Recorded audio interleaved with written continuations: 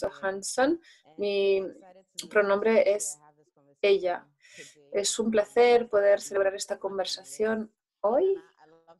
Un placer ver a todas estas panelistas. Eh, Nana, gracias por la canción que has, que has escogido, es perfecta.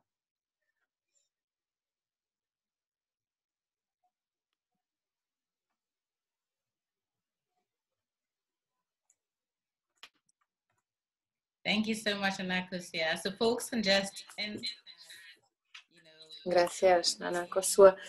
Como decía, por el chat pueden ir escribiendo su nombre, el pronombre que desean que, se, utilicemos para dirigirnos a usted y el interés, en esta, el interés que tienen en esta charla.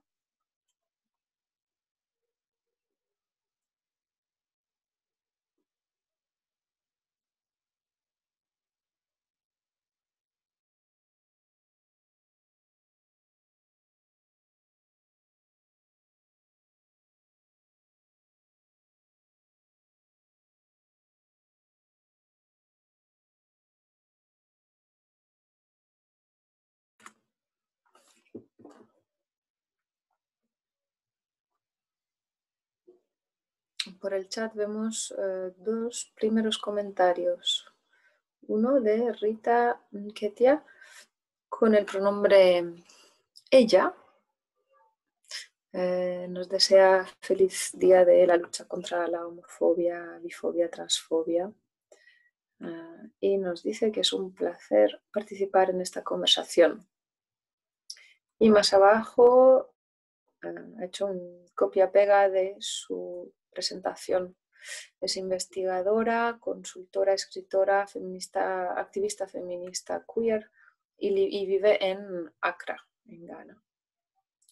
Tiene, una, tiene amplia experiencia en organizaciones feministas, en, la investigación en el campo del feminismo y en el activismo um, comunitario en África Occidental.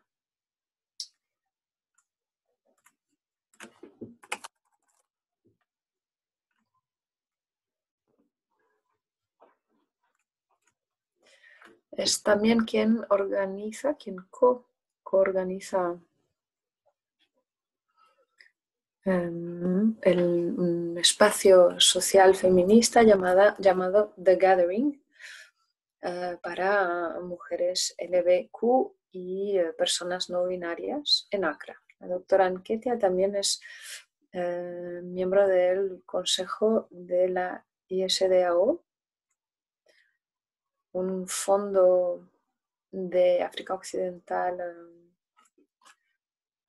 para la comunidad LGBT eh, orientado en la ampliación del movimiento LGBT en la región. También es presentadora de radio y televisión.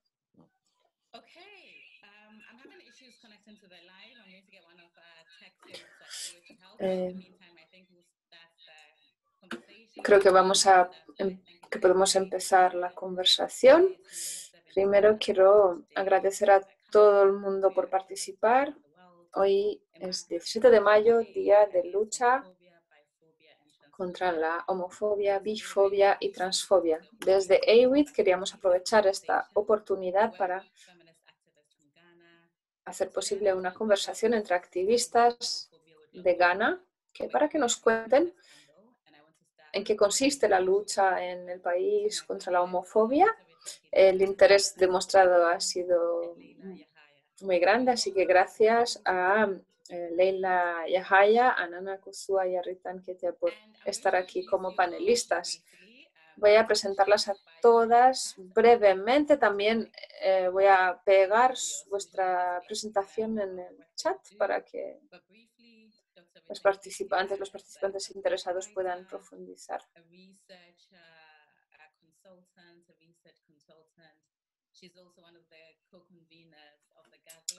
La doctora uh, Rita Anketia, como decía, es consultora, investigadora, escritora, feminista activista queer que vive en Accra. Akosua Hansen es una presentadora de radio y televisión, feminista africana y activista artística que vive en Accra, Ghana. Su trabajo de creación eh, varía desde la novela gráfica, el teatro, la poesía, hasta los relatos cortos, em, eh, los talleres, eh, instalaciones interactivas artísticas, etc. Es fundadora de Drama Queens, una organización activista artística que utiliza el arte para el activismo feminista y LGBTQI+. Leila Yahaya es una feminista queer musulmana y activista por los derechos humanos eh, que, vive como, que vive su vida como una declaración política. Trabaja con eh, la red eh, por la diversidad interreligiosa.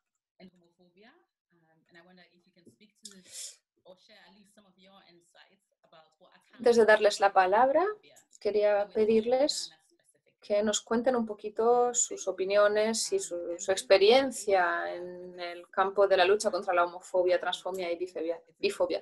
Gracias, Nana, gracias por invitarme a, este, a esta charla. Espero que tengamos tiempo para hablar de todo lo que estamos viviendo en Ghana en este sentido. Espero que tengamos tiempo también para tener una conversación interesante. Eh, como saben, Ghana es percibida como un país eh, religioso y conservador.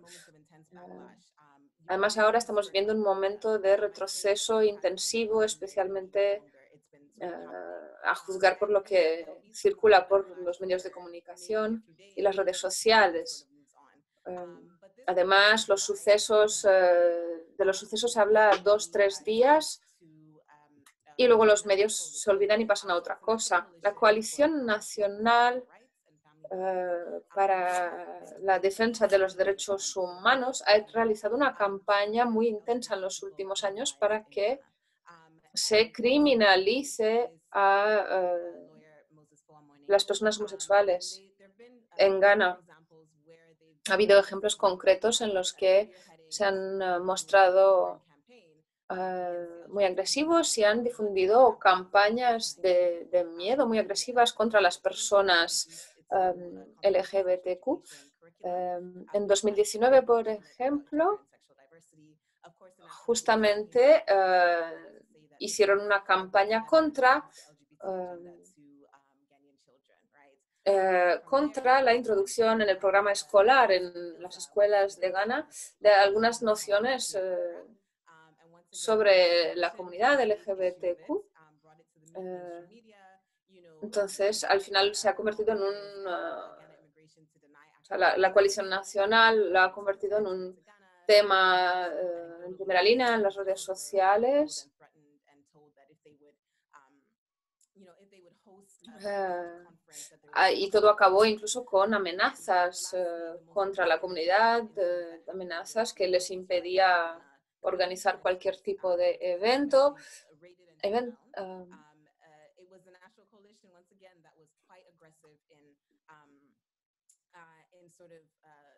entonces, la coalición nacional, digamos que es bastante agresiva uh, en su manera de hacer y en su, en su proceder y además intenta uh, falsamente mostrar que uh, que la comunidad LGBT está avanzando, ganando terreno en Ghana. La primera, el primer uh, congreso en la región de África celebrada para, personas LGBT o sobre los derechos de las personas LGBTQ eh, en 2019 justamente abordó este tema De, toda la sociedad que eh, se muestra vehementemente en contra de las eh, personas LGBTQ. Voy a dar algunos ejemplos durante la crisis, cuando eh, se amenazó la, oficina de, las de, de la asociación LGBTQ recibió amenazas lo cual es ilegal en Ghana, pero no hubo ninguna, no se tomó ninguna medida para denunciar este tipo de violencias, para decir que no, o sea, se, prendió fuego al edificio, a la oficina. Y en el Consejo de Derechos Humanos eh, en Ghana se han aprobado al menos tres recomendaciones para eh, respaldar la legislación eh, de defensa de derechos de personas LGBT. Pero falta ponerla en práctica. Entonces son maneras eh, en las que el Estado se muestra cómplice de este tipo de violencias que solo contribuye a fomentar la violencia. Otras uh, razones de la homofobia, otra razón que explica la intensificación de la homofobia es también que también estamos siendo cada vez más agresivos desde el activismo por los derechos de las personas LGBTQ. Obviamente cualquier uh, avance uh, va de la mano con un retroceso y con una reacción agresiva en contra. Muchas gracias, eh, Rita. Es muy interesante tener un panorama general, una visión general. Y cuando hablabas de retroceso, efectivamente comparto esta constatación de que también en parte es una respuesta al activismo LGBTQ en el país. Sabemos que también todo esto es una parte de la reacción a la resistencia que se organiza y al fortalecimiento del eh, movimiento queer. Solo quería decirles, por favor, que si tienen preguntas, no duden en hacerlas por el chat. Esperamos que sea una sesión interactiva, así que no duden en absoluto eh, enviar preguntas o comentarios. Adelante, Leila. Gracias. Um,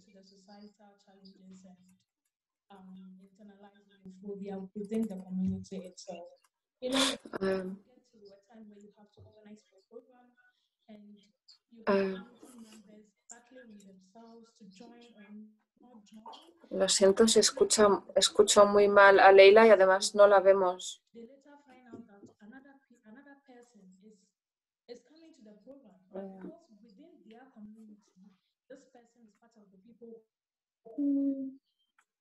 Discriminate against them, like within their own communities. It's very difficult to bring together community members to partake in something that is going to be beneficial to them because of the societal challenges. Because some of them will come to this program and later on go back to the house and realize that whatever they said there or where they've been, they've been outed already. So peer organizing in Ghana is actually very, very challenging.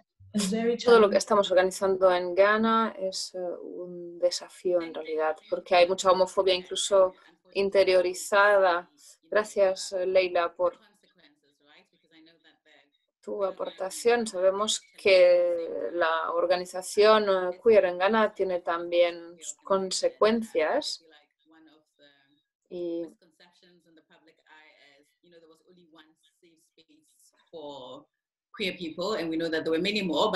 Sabemos que antes solo había un espacio para personas queer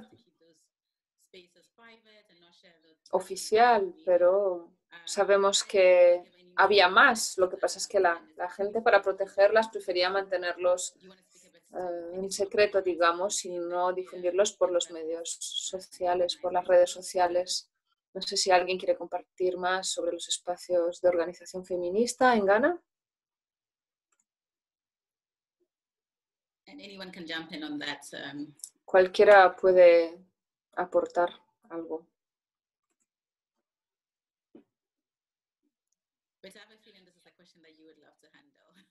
Me parece que es una pregunta a la que te gustaría responder. ¿Puedes repetir la pregunta, por favor? Sí, me pregunto si alguna de ustedes quieren responder a, puede contarnos algo sobre la creatividad del movimiento en términos de, las necesidades de, la gente, de cómo hace la gente para reunirse, la cuáles son los, los temas también a, um, en materia de seguridad, porque hemos visto en los medios que, que la sociedad está abriendo más uh, espacios LGBTQ y, en fin, cómo se están organizando. Creo que es Leila la que tendría que responder a esta pregunta. Bueno, si no, Leila, si quieres responder a esta pregunta, adelante, si no podemos pasar a otra. ¿Puedes repetir la pregunta, por favor?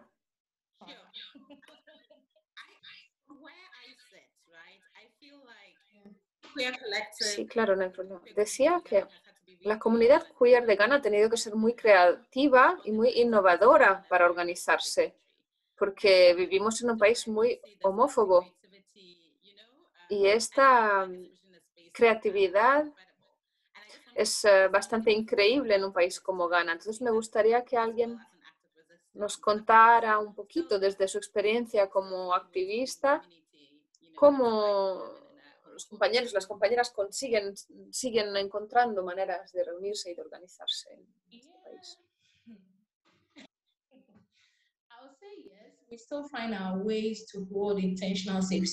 Sí, seguimos uh, encontrando maneras de reunirnos dentro de la comunidad eh, queer, pero no es fácil hacer que la gente salga de sus casas para reunirse. Eh, no es fácil porque todo el mundo habla.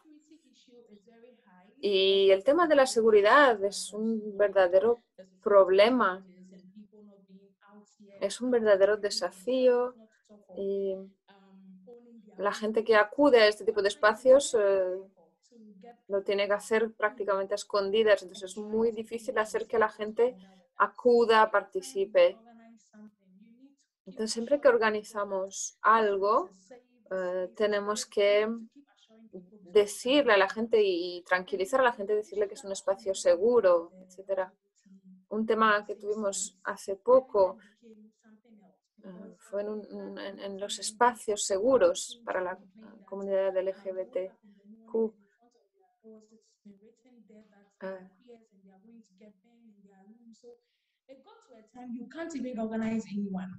When you call for them, they'll just tell you that, okay, I'll come, but they won't come. That's where we got to.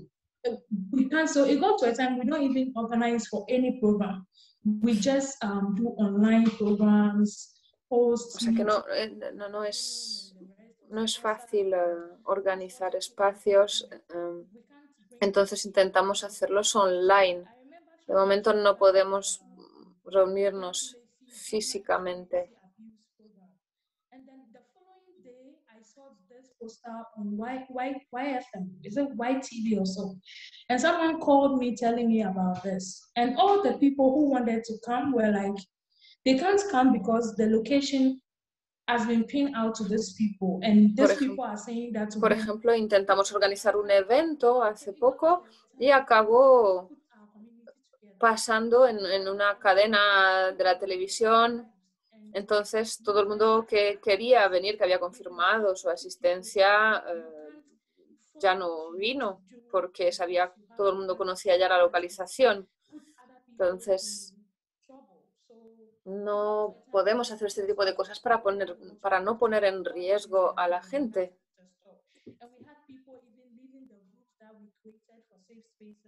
They were leaving the group because they were not safe anymore.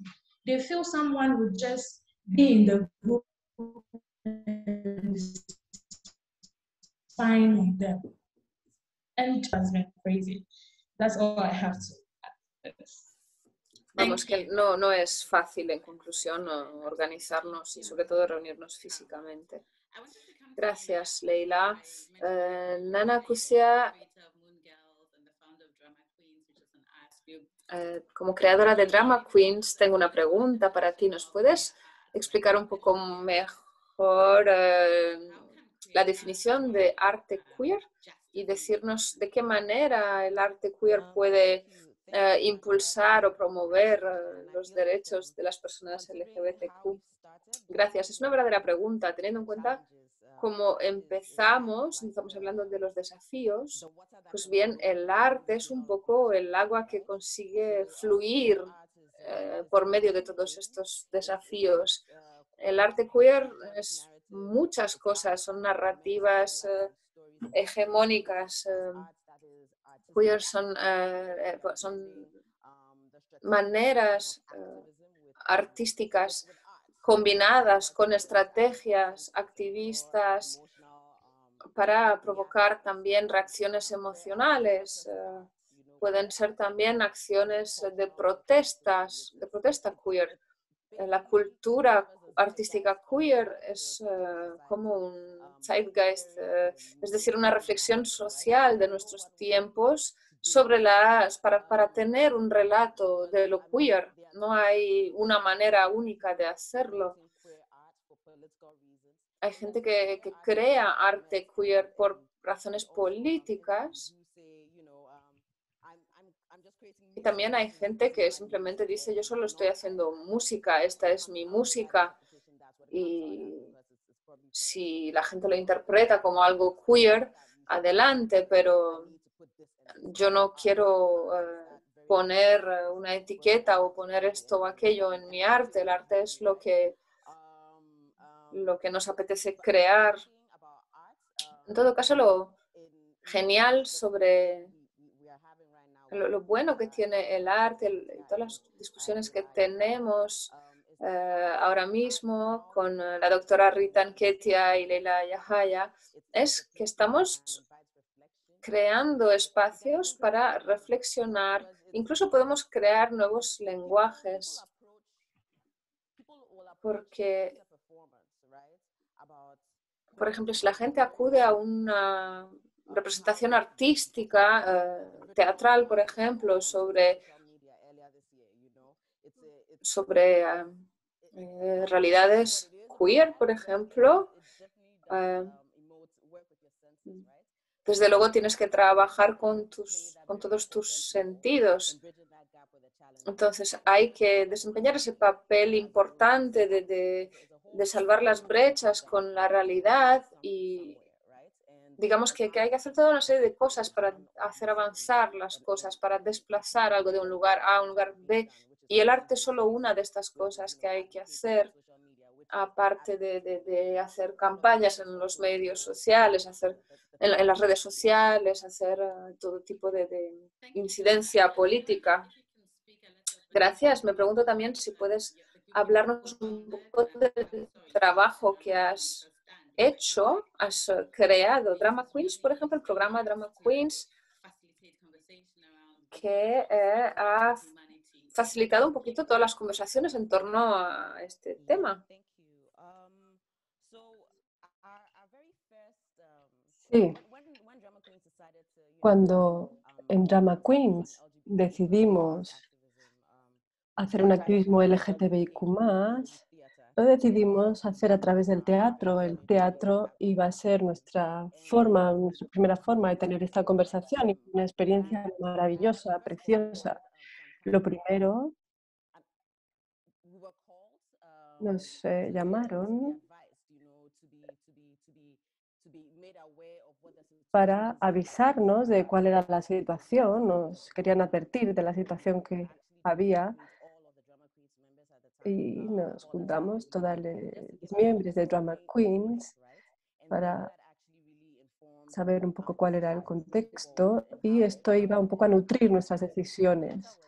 Así que el teatro volvía al teatro, el teatro era la primera forma de tener esa conversación tuvimos una, hicimos una primera obra que se llamaba Como Nosotras y tomábamos historias de la propia comunidad, compartíamos incluso guiones, historias personales que nos habían pasado las distintas personas, hicimos un teatro itinerante, incluso las propias opción, la propia decisión de hacer este teatro itinerante, utilizamos danza, multimedia, todo eran herramientas eh, que utilizamos a posta para de alguna forma evocar una reacción emocional, una reacción social. Nos dijeron, una persona dijo que le gustó que le forzaban a moverse de una sala a otra. porque de alguna forma encarnaba historias de un corpus distinto. De alguna forma estaba caminando en los, en los, zapatos de la otra persona. La gente salió llorando, muy emocionada. Bueno, eso pasa bastante, pero bueno, esto es un ejemplo con Drama Queens en este teatro que se llamaba Como Nosotras. Y luego tuvimos otra obra que tenía que ver con la cultura en Ghana, eh, de la cultura de la violación. Cuando la gente habla de esta cultura de la violación heterosexual, bueno, eh, en la obra representamos todo esto en la comunidad queer. Y fue, esta fue una obra que fue muy mainstream, eh, está sobre la cultura de la violación fue muy mainstream y de alguna forma al mostrar esta cultura de la violación también que al queer que enlazaba con la cultura de la violación heterosexual hacia un puente. Bueno, estas son algunas de las cosas y claro también Moon Girls, de Chicas de la Luna, digamos, este cómic que hemos hecho. Muchísimas gracias. Os animo a todos a que miréis las eh, redes sociales de también. Cualquiera que tenga una pregunta podéis hacerla. Por favor, escribirla en el chat donde pone preguntas y respuestas.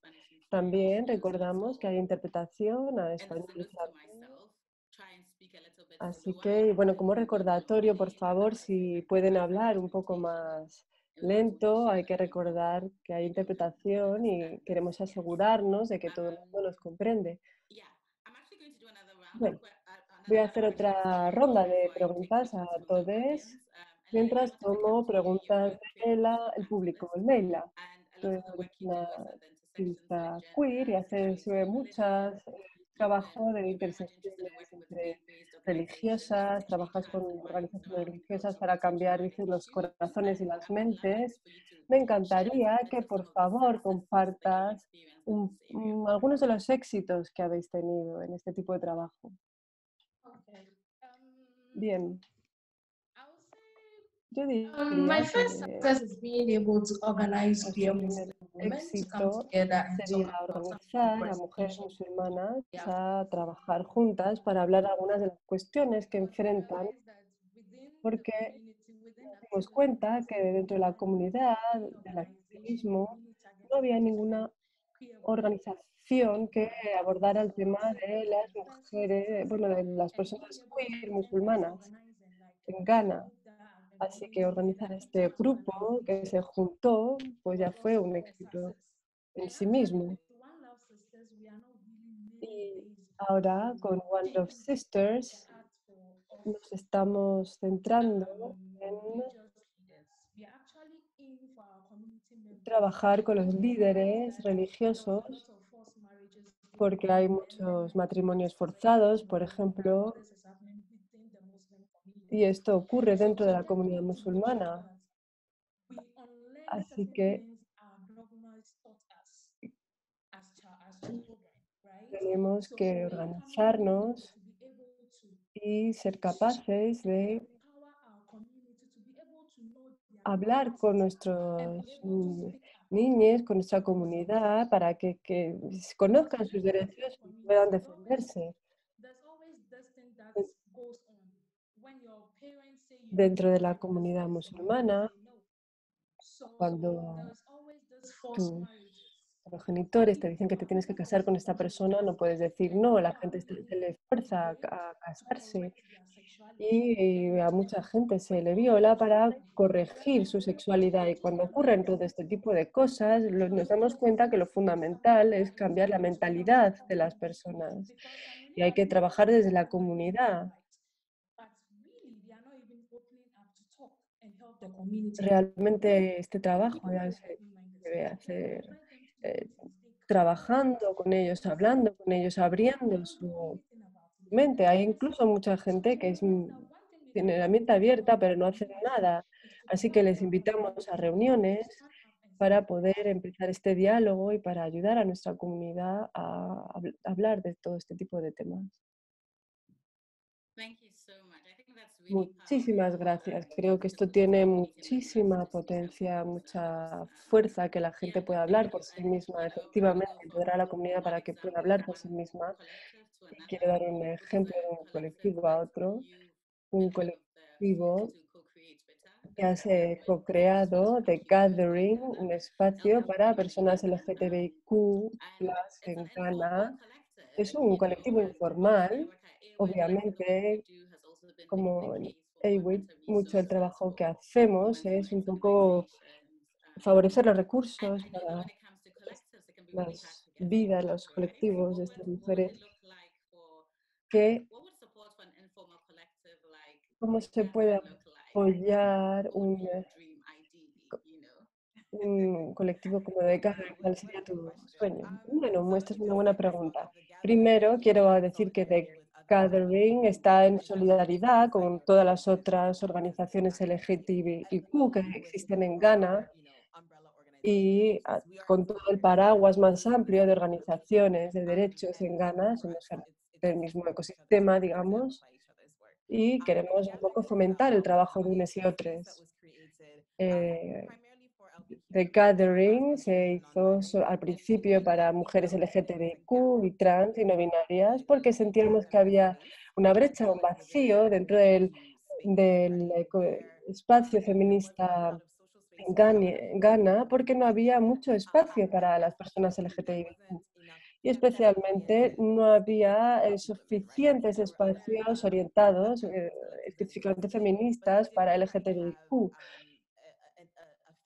No tenían realmente un etos feminista intrincado en el trabajo que hacían. Eh, y para nosotras era muy importante crear un espacio informal, que lo organizáramos para nosotros mismos, eh, que funciona, era comunitario, totalmente organizado por la comunidad, financiado por la comunidad, no era una ONG, no queríamos formar parte de un complejo, digamos, industrial o de ONGs y queríamos simplemente crear un espacio para nosotros mismos y que no estuviera sujeto a ningún mandato de ningún donante. Y creo que este espacio ha sido realmente importante porque eh, lo que pueden hacer los espacios informales eh, son muchas, pueden hacer muchas cosas que no pueden hacer, digamos, organizaciones de la sociedad civil que están sujetas a un plan anual o a unas demandas anuales de donantes. Entonces, tener un espacio, digamos, más informal nos permite jugar, nos permite ser imaginativos y pensar qué queremos hacer. Y en el centro de nuestro trabajo es el bienestar de las eh, mujeres LGTBIQ y las personas trans y no binarias.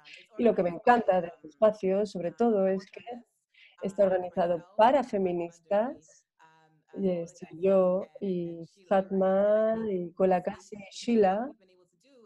Y lo que hemos conseguido hacer en este espacio, bueno, no tenemos ningún tipo de jerarquía, compartimos el trabajo, compartimos las decisiones y también la responsabilidad en el colectivo. Así que este tipo de espacios realmente son muy importantes para impulsar una agenda feminista que está arraigada en el cuidado comunal, en el cuidado comunitario y en la autosuficiencia dentro de la comunidad y de los propios eh, recursos. Bueno, dicho esto, si la pregunta es cómo los donantes nos pueden ayudar a colectivos informales, es que quizá deberíamos remarcar lo que pensamos que es el activismo legítimo.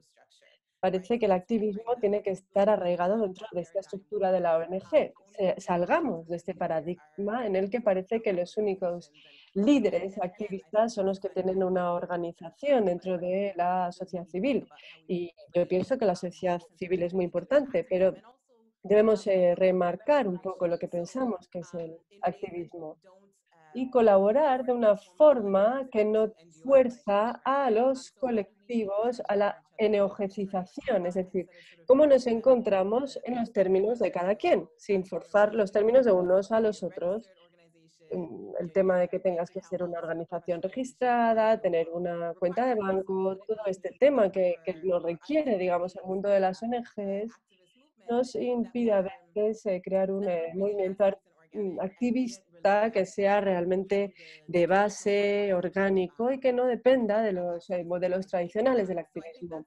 Así que bueno, yo pienso que este es el tipo de apoyo que podríamos recibir, ¿no? que nos podrían apoyar otras instituciones de, este modo, sin forzarnos a, a la legislación.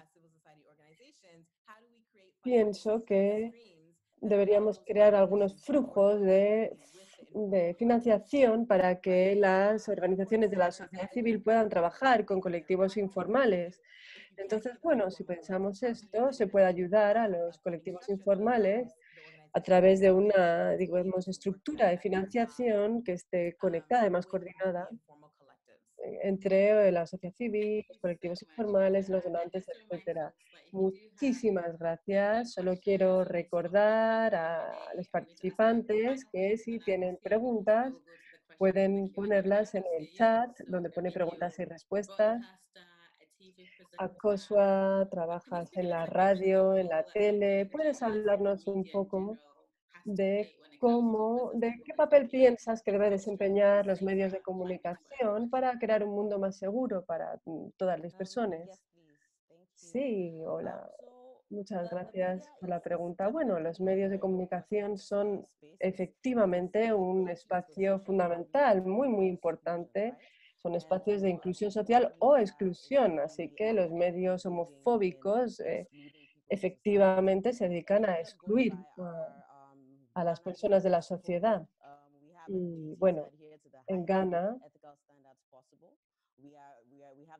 tenemos un deber de informar la verdad, de diferenciar entre que es un hecho, un comentario, una opinión y tenemos el deber de respetar a la dignidad individual. Debemos eh, asegurarnos que no discriminamos, entre otras cosas, no podemos discriminar por género y sexualidad. Esto forma parte del código ético de los medios de comunicación, ¿no? Todo lo que estoy nombrando. En los noventas, por ejemplo, que es cuando yo llegué al mundo, eh, realmente, bueno, mm, desde que empezó esto, pues realmente nos han respetado tanto, pero Sí, hay unos medios tradicionales en la radio, en la tele, en las que los debates de este tipo de cosas se supondría que deberían ser más serios y más basados en hechos. Sin embargo, también hay la radio, digamos, de la cultura pop, del entretenimiento, que puede ser como de la misma forma que lo es el arte, digamos, el puente, el, que puentea estos eh, vacíos y que salva esos estas brechas, ¿no? Y then therefore LGBT issues are, are on African, right? You can have um, urban... por ejemplo, tienes una radio urbana que también eh, puede poner música de personas queer en su radio y, incluso gente que es homófoba, de hecho, estaba enganchándose con esta música. Esto forma parte de la cultura pop. Hay un vídeo que es guap. Esta cultura pop, digamos, eh, favorece estos espacios que donde los medios tradicionales fallan. Así que puede ser un espacio para la curación, para la inclusión social y para una formación alternativa, para una educación alternativa, donde se eh, borren ciertas ideas. ¿no? Ghana es una ciudad muy religiosa y las personas que van eh, a la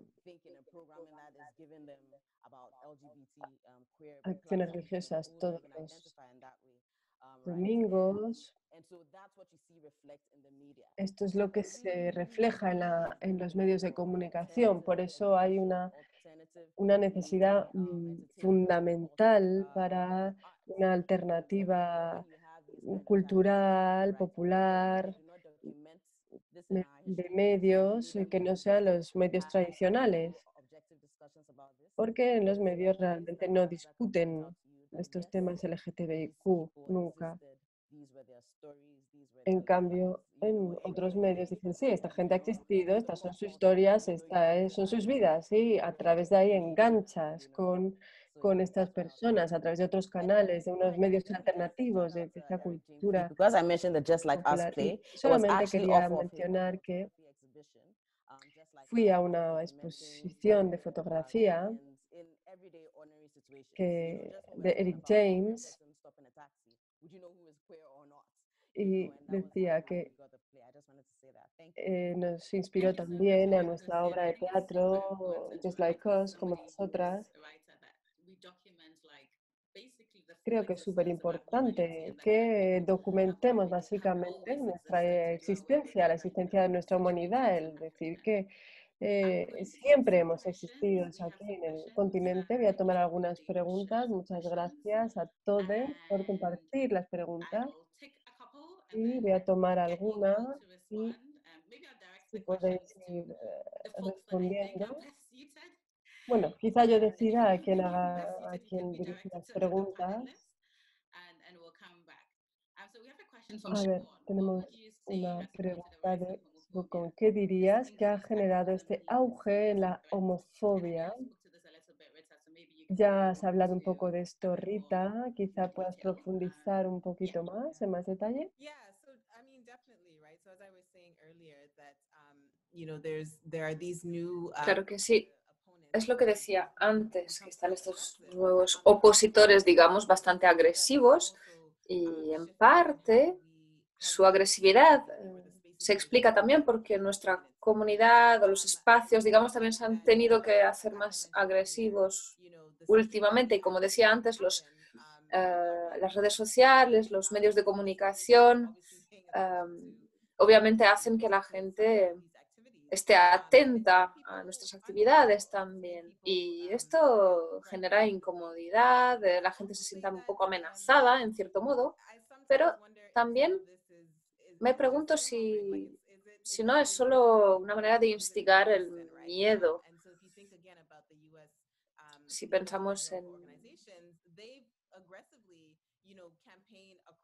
organizaciones, eh, en organizaciones concretas pues, eh, que, se dedican a hacer eh, campaña contra la comunidad LGBTQ y pues, su objetivo es generar miedo. Eh, son organizaciones de los Estados Unidos también, o sea, a veces hay influencias externas eh, y cuando la, gen- la gente, cuando piensa en la homosexualidad o, em, o en, o en la homofobia como un fenómeno africano, la verdad que se concibe más bien como un fenómeno occidental. Entonces tenemos que, sí, sigue habiendo una injerencia, digamos, una- un posicionamiento occidental dentro del desarrollo de, estas situaciones en nuestro continente. Eh, muy bien, una segunda, gracias. Eh, una segunda pregunta eh, sobre las, la, los- la falta de lugares para reunirse dentro de la comunidad eh, LGBTQ debido a este clima homofóbico. La pregunta para Leila es cómo conseguís eh, moveros entre estas, estos distintos factores, entre mostrar que efectivamente eh, existen ganeses y ganesas LGBTQ más más eh, y también eh, protegerlos o sí ser conscientes de, de- de que hay un- una necesidad de, de ser, de mantenernos en silencio. Eh, Leila, no sé si nos escuchas. Si no estás, no sé si a lo mejor, eh, Nana Kusia, tú puedes contestar a la pregunta. O sea, ¿cómo mantienes el equilibrio entre la necesidad de, visibilizar la a la comunidad LGBTQ en Ghana y también eh, la necesidad de protección, de garantizar protección y mantenerlo en cierto modo en silencio?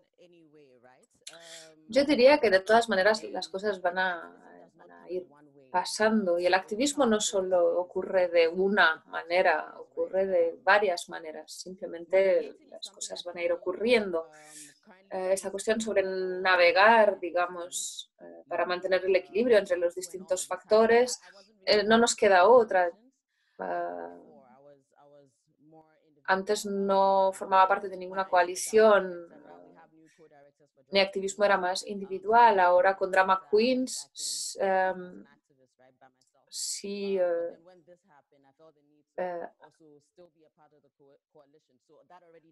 necesito formar parte de una coalición, digamos, y eso ya eh, genera un movimiento, digamos.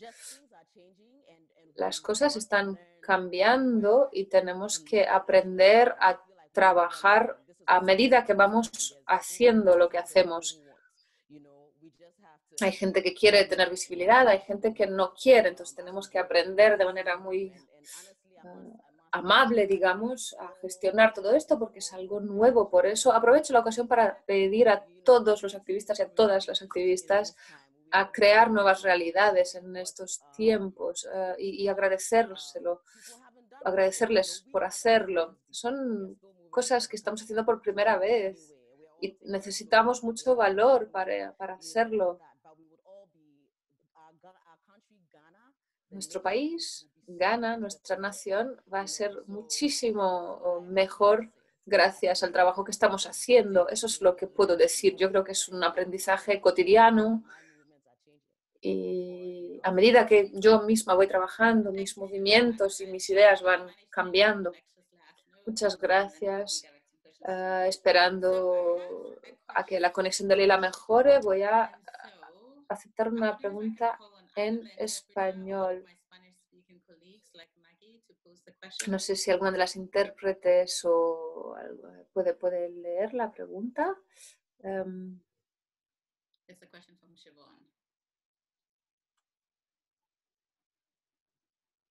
If not, I'll move to another question from Siobhan. Let me see the question, right? Okay, so I see it right here. Um, related with rape culture. La pregunta es, en relación con la cultura de la violación, se podría decir que la falta de querer realizar la existencia de la homosexualidad y de otras sexualidades extrañas, entre comillas, entre comillas, contribuye a crear una atmósfera de falta de respeto o de saber del derecho de, la, de los derechos de las otras personas y cómo podemos combatir este, este problema en los espacios queer.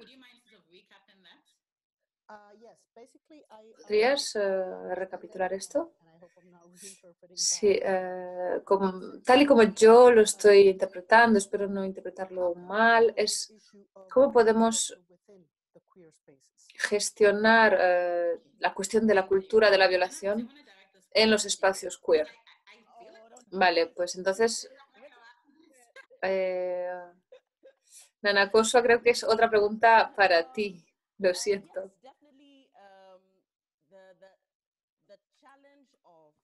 Eh, pues sin duda el desafío de no poder ni siquiera aceptar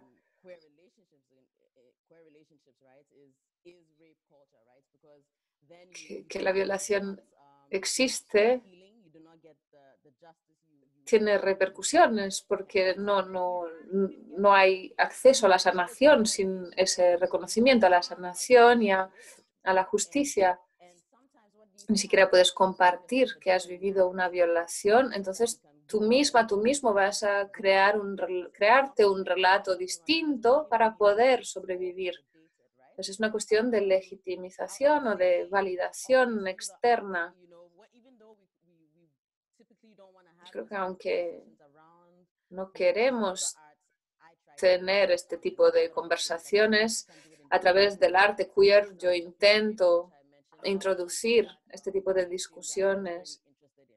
Es un tema muy importante en Ghana porque nos gusta centrarnos en temas eh, seguros.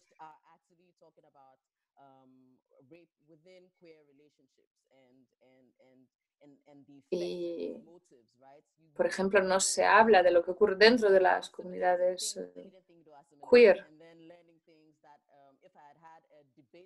Y por ejemplo, si es, es, lo que puedo decir, pero me gustaría también oír a otras panelistas que piensan o a miembros de la comunidad queer que piensan al respecto. Vale, voy, quiero, quiero decir algo. Creo que es un tema muy sensible. Sé que organizaciones como One Lab Sisters o Courageous Sisters han trabajado con el tema de, la violencia y, porque hay esta percepción de que dos mujeres en una relación amorosa o dos hombres en una relación amorosa, pues que no hay no, no puede haber un problema de violencia. Pero también una mujer queer que haya sufrido violación por su propio compañero, eh, pues que se, puede ver, eh, eh, digamos, tentada a no, a no denunciar la violación que ha subido para no, digamos, estigmatizar su propia comunidad en un contexto homofóbico, ni siquiera tenemos los espacios o los medios para abordar este tema dentro de nuestra comunidad. Y precisamente cuando se trata de la comunidad LGBTQ tenemos que desaprender muchas cosas, incluso en términos generales. Seguimos, por ejemplo, muy atados a, los dictados del heteropatriarcado, a los dictados eh, de la masculinidad, eh, de la feminidad, eh, sobre las cuestiones de poder y, qué poder se le tiene que, digamos, dar al hombre en una relación, etcétera. O sea, que hay muchas cuestiones que tenemos que desafiar, que tenemos que desconstruir como mujeres y como hombres, de, como miembros de la comunidad LGBT. Y creo que esto tiene que ver con cómo entendemos lo queer em, como una puerta, digamos, a la libertad sexual. Y esto puede generar eh, situaciones donde no hay un verdadero consenso. No es porque no se habla de qué significa el consenso queer, qué significa eh, el sexo queer suele haber, por ejemplo, personas hiper eh, queerizadas, por así decirlo, y es, puede ser un comportamiento que silencie, digamos, este tipo de conversaciones. Por eso yo a veces eh, sí intento provocar simplemente conversaciones sobre la violencia que existe dentro de nuestra propia comunidad.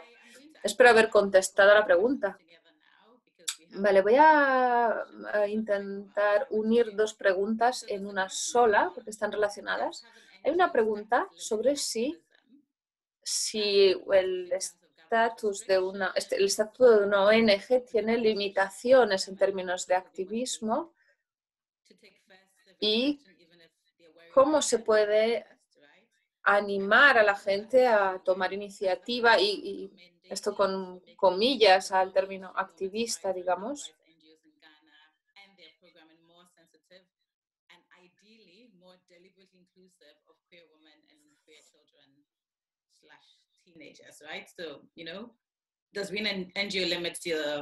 Y también, ¿qué recomiendan para que las ONGs mainstream o centradas en los derechos de las mujeres y de la infancia en Ghana y sus programas sean más eh, sensibles, digamos, o más incluyentes de las cuestiones queer y también de a los más abiertas a adolescentes queer.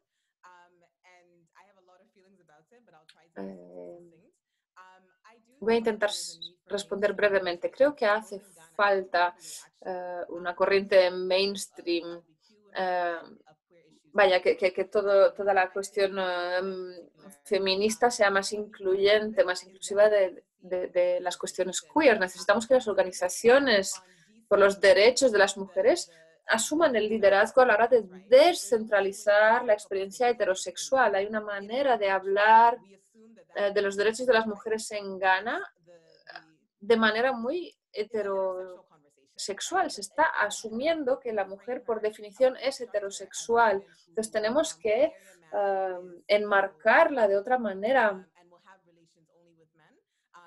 en lugar de asumir, de dar por hecho que, vamos, que nuestras relaciones siempre son con, con, hombres, pues hay todo un trabajo que hacer y aprovecho para invitar a profundizar el análisis y el enfoque queer en todas las organizaciones que hablan de, los derechos de las mujeres. Tengo dos ejemplos de este tipo de iniciativas. Uno es uh, Nets Rights, es una, una, red por los derechos de las mujeres en Ghana que eh, publicaron una declaración por los derechos de la comunidad LGTB en Ghana y me pareció una verdadera muestra de solidaridad.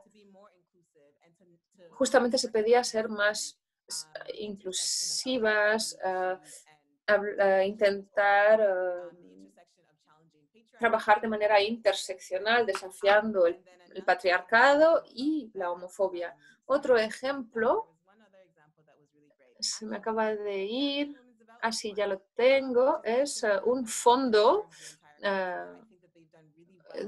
que tiene sede en Ghana, pero funciona en todo el continente. Y justamente generan, hacen mucha campaña, en, campañas en, los, en las redes, y en, están presentes en todo el continente es el mayor donante en, feminista en el continente y muestra apoyo por las cuestiones LGBTQ y eso es muy importante. Lo último que ha ocurrido en los espacios feministas, los espacios por los derechos de las mujeres, es que lo último que querría decir es que necesitamos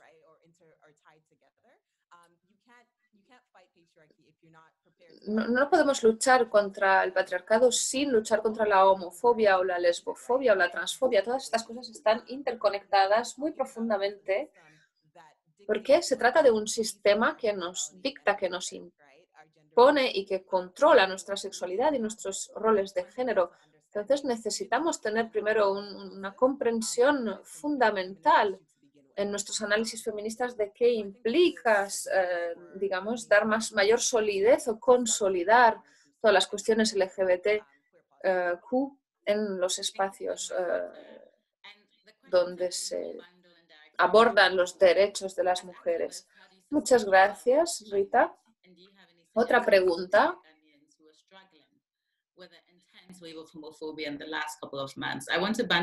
¿Cuál es vuestro mensaje uh, para los grupos feministas y las coaliciones de Ghana actuales y qué estrategias proponen para obtener más apoyo de estos grupos a la hora de luchar contra la homofobia, en la lucha contra la homofobia y cuál es el primer paso para resistir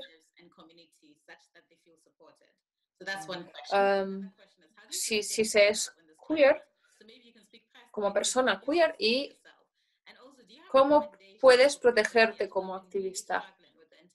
Y uh, Nana Darko está repitiendo la pregunta.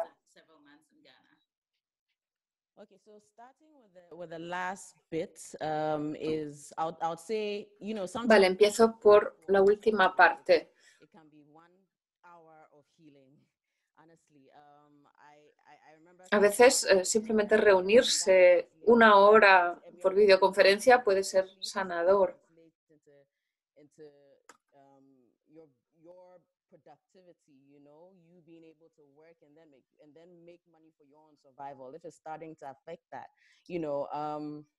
A veces simplemente puede ser una, una amenaza para tu propia vida si, por ejemplo, te impide trabajar. Entonces, things, um, things that Ah, can be eh, done. recomendaría encontrar, identificar los espacios de ayuda donde se eh, y los espacios donde se organizan eh, encuentros. Hay muchos drama queens, eh, eh, One Love Sisters, be Intenten encontrar estos espacios. No tiene por qué ser físicos. También puede tratarse de formar parte de un club de lectura, por ejemplo. A veces es- Puede ayudar simplemente, eh, digamos, eh, leer eh, literatura futurista, por ejemplo, para escapar un poco de este mundo. A veces nos puede parecer que esta vida, que, que esta manera es muy aburrida o, o muy triste, pero esta es la única vida que tenemos y a la mierda con todos y todas aquellas que quieran eh, quitarme la- mi, mi- mi- tiempo para disfrutar la vida, mi disfrute en la vida. Entonces, desde luego, podemos crear nuevas realidades. Este es el mensaje. Ah, Estoy hablando como artista que soy, pero hay, gente, hay otra gente que no lo es y que comunica este mensaje. Intenten agarrarse a este mensaje también. No sé si he respondido ambas preguntas. Creo que la primera parte de la pregunta era... Sí, creo que sí que has respondida. Tengo más preguntas del tiempo que nos queda. Voy a permitir una última ronda de preguntas y podrán responder también después cuando hayamos puesto fin a la emisión en directo. Eh, Rita, una última pregunta para ti.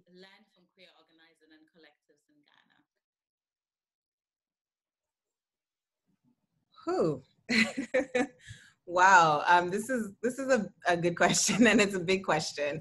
Um, so, look, I think movement building can happen at different scales. It can happen at the local level, the the national level, the regional level, the global level, and I think all of that kind of you know scalar uh, movement building is all of that is important. Um, Eh, la creación de movimiento es muy importante a todos los niveles, a nivel local, eh, nacional e internacional, pero creo que es muy importante centrarse en el contexto local, porque esto es- está ocurriendo en Ghana, eh, bajo la legislación ganesa, en la, en la realidad de nuestro país. Entonces es muy importante eh, el aspecto local de nuestro activismo. Obviamente es importante crear conexiones y lo hacemos, adoptar estrategias a nivel eh, mundial, pero tenemos que desarrollar infraestructuras a nivel de base para poder responder y organizarnos en un movimiento para responder a justamente todo el retroceso, a toda la violencia que recibimos de, quienes están en contra. Y creo que también es importante, o por lo menos a mí me interesa, que creemos más espacios y más oportunidades para generar movimiento a nivel local, para reflexionar sobre estrategias que podemos crear. Por ejemplo, ¿qué está ocurriendo actualmente con la- toda la crisis actual? Estamos eh, recibiendo mucha atención de donantes, de medios eh, de comunicación internacionales y lo importante es reconocer que somos un movimiento muy joven. Estamos construyendo camino a medida que lo estamos caminando. Entonces hay que aprovechar también las oportunidades para eh, aprender de otros movimientos y recibir apoyo para crear est- nuestra- nuestras propias estrategias. Es una pregunta que llevaba esperando desde hace tiempo, así que gracias. Gracias. Rita, una última pregunta para Nana Kusia. ¿Cuál es tu mensaje para organizaciones queer y feministas o movimientos o colectivos del mundo entero en un día como hoy? Pues ante todo quiero agradecerles, darles las gracias por crear en un espacio que no quiere que existan y a pesar de que, que existamos y a pesar de ello sí existimos. Así que sigamos haciendo lo que hacemos con amor y sim- el simple hecho de existir ya es una garantía de que las cosas van a ir cambiando. Este año vamos a poder por fin eh, vernos, volver a reunirnos. Es como los años 90, est- estamos como justo antes de ese momento en que las cosas van a cambiar. Entonces, estoy muy contenta de ver a tanta gente que trabaja en esta dirección en, Ghana y en el mundo entero.